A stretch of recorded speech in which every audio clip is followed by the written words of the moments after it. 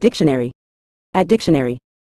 In a general sense, a microorganism refers to a microscopic organism, such as bacteria, viruses, fungi, protists, or archaea, that is too small to be seen with the naked eye.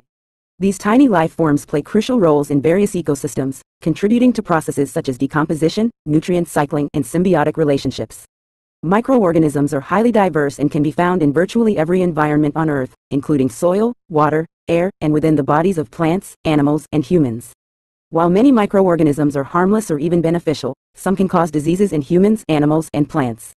Their significance extends across fields such as microbiology, medicine, ecology, biotechnology, and food science, where they are studied for their roles in health, agriculture, industry, and the environment.